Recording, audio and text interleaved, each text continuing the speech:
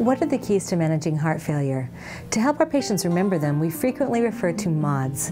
MAWDS is an acronym that stands for medications, activity, weight, diet, and symptoms. In MAWDS, M is for medications.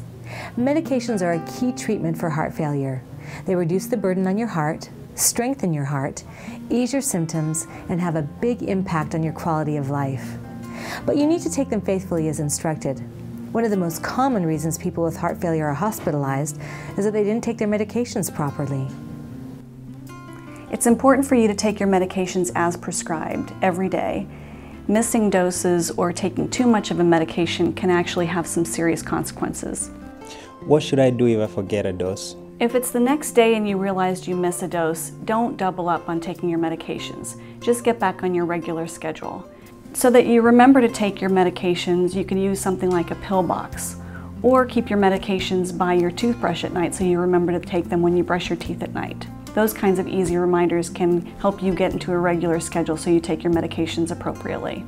I also do take uh, supplemental herbs from a local drugstore. Can I keep taking them? It really depends. Let's go through that list and see if it's safe. There are some herbal or over-the-counter medications that may be safe with taking heart failure or prescription medications, but others may not be safe. So we really want to make sure that there's, there's no interaction with the medications that you're taking for your heart condition.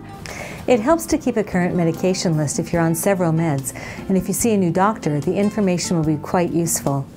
Be sure to include any herbal supplements, vitamins, or other over-the-counter drugs you take regularly. If you use an Intermountain pharmacy, you can ask for a med card you can keep in your wallet. You might have some side effects with heart failure medications, or you might notice something new, like a minor cough or a headache, and not know whether it's a side effect or something else. If that happens, call your healthcare provider and let them know what's going on. If it's a side effect, most often your healthcare provider can adjust or change your medication to solve the problem. One more tip avoid running out of medications. If you run out for a few days and stop suddenly, you could have a sudden change in your symptoms. Try to call the pharmacy or your healthcare provider for a refill when you've got a week's supply left. I worried about affording the pills, but found a pharmacy that does prescriptions for $4 a month. That helps a lot.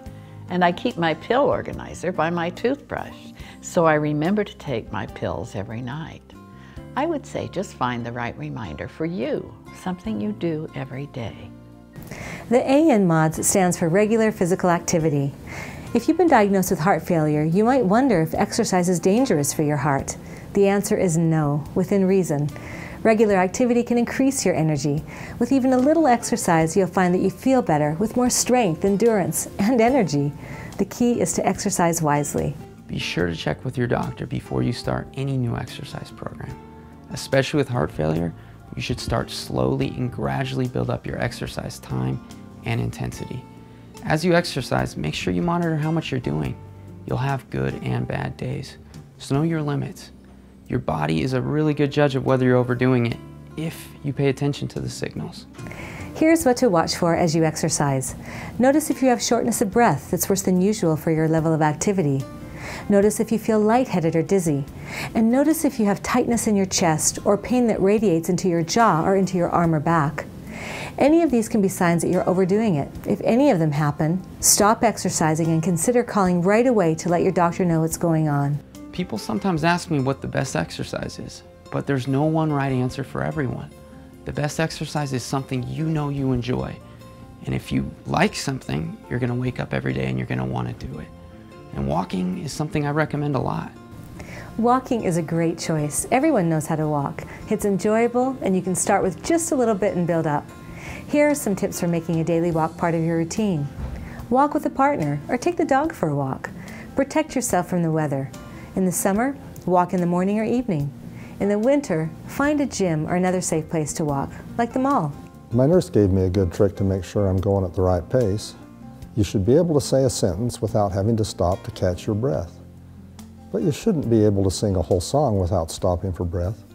So my daughter and I talk on our walks, and she notices if I need to slow down a little bit. We get to catch up with each other, but we don't sing too much. The W in MAWDS stands for checking your weight every day. Every morning when you wake up, you can take one of the most important steps in controlling your heart failure stepping on the scale. Extra fluid buildup from heart failure shows up on the scale as extra weight, often before other symptoms develop. By weighing yourself daily and keeping a record, you can see if your heart failure is under control. Try to weigh yourself at about the same time each morning, after you've urinated, but before eating or drinking. Use your heart failure self care diary to record your weight each day. And if your healthcare provider has asked you to check your heart rate or blood pressure every day, you can use the diary to record those too. Call your doctor if you gain two or more pounds in one day, or if you gradually gain five pounds over your target weight, your regular weight when you're not retaining fluid. Talk to your healthcare provider to determine a good target weight for you. If you lose a lot of weight, especially if it's sudden, you should tell your healthcare provider about that as well. Get immediate medical help if you gain five pounds in a single day. It took a little while to get in the habit, but now it's automatic. I wake up, I use the bathroom, step on the scale, and write my weight down. Then I check to see it's okay. It just takes a minute, and I do it without thinking. The D in MAWDS stands for a diet that helps your heart by limiting sodium and fluids. Sodium or salt causes your body to retain extra fluid. Try to limit your sodium to 2,000 milligrams a day. Now, this will require more than just throwing the salt shaker out. The real trick is avoiding all the sodium added to common food items. Sodium can hide in a lot of places. To avoid buying high sodium foods, it can help to focus on fresh foods like fruits, vegetables, or dairy. While some foods from the departments around the edge of the grocery store have sodium added, they're often lower in sodium than the packaged products on the shelves in the middle of the store. In general, the fewer packaged convenience foods you buy, the less sodium you'll eat. When you do buy packaged, pre-cooked items, read the food label Make sure the sodium content for each serving is under 250 milligrams. Carefully check the labels of food marked light or low fat. Many low fat foods have a lot of sodium. Look for unsalted, no salt added, or low sodium versions of your favorite foods. You'll be surprised by how many you can find. And when you buy canned vegetables or beans, rinsing them can lower the sodium. Here are some high sodium products to avoid processed meats like hot dogs and salami, soy sauce and seasoning packets, salted butter or margarine, cheese, and of course, don't eat snacks with salt on them like potato chips or pretzels. There are plenty of ways to enhance flavor without using salt. For example, use dill, lemon, pepper, onion, or an herb blend, and use garlic powder instead of garlic salt. And salt substitutes are another alternative. You can eat out, just make a few changes in how you order. Ask for condiments like salad dressing on the side, so you can add just a little instead of a lot. You can also tell your server that you're on a low salt diet. The kitchen may be able to cook your entree with less salt or no salt. I realized I had to cut out the drive-through, just way too much salt. So I don't eat burgers as much as I used to, but now when I do, I just make one at home with garlic and onion instead of the salt, and lots and lots of lettuce and tomato. I, I actually make a really good burger. Oh man, I used to love salt on everything, but after a while, your taste buds change. Now I taste saltiness in food, even if there's no salt on it. And some foods I used to like, they actually taste way too salty for me now.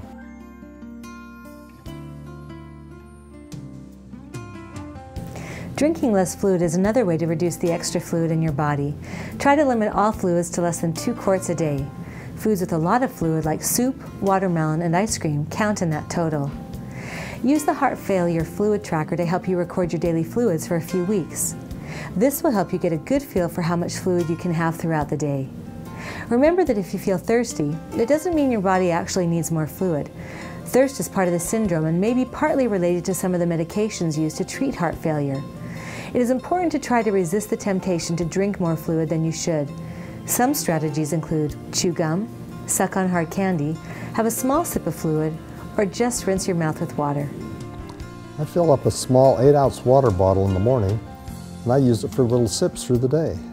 That helps me keep track of what I'm drinking between meals. Finally, S in MAWDS stands for symptoms. Your heart failure action plan helps you keep track of symptoms using three colors, green, yellow, and red. We hope you stay in the green zone where everything is stable.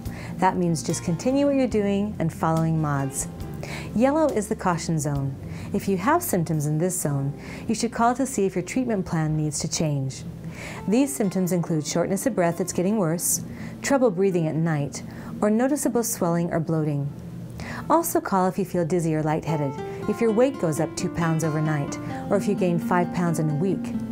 The red zone is the emergency zone. If you have symptoms in this zone, you should get immediate help. Go to the emergency room or call 911 if you feel breathless or extremely short of breath. Your chest feels heavy while you're resting, you're coughing up pink, frothy mucus, you've passed out, or if you gain five pounds in one day. Remember, MAWDS is the key to a successful partnership with your healthcare team. Take your medications as prescribed. Stay as active as you can. Weigh yourself daily and know when to call with weight changes. Follow a diet that limits salt and fluids. And know what symptoms to watch for and call your providers early if problems arise. There are a few other healthy choices you can make to protect your heart. If you smoke, stop. This is one of the most important changes you can make for your general health. If you drink alcohol, you should follow general recommendations. Women should limit their intake to one serving of alcohol per day, and men should have no more than two servings per day. If your heart failure was caused by excessive alcohol use, it's important to stop drinking altogether. Finally, get a pneumonia vaccine if you haven't had one and get a flu shot every year.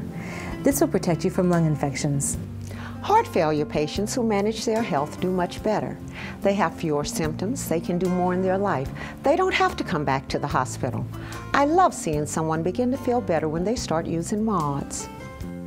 Following the program is so worth it. You can feel better and have more energy, just enjoy life more. It's really helped me.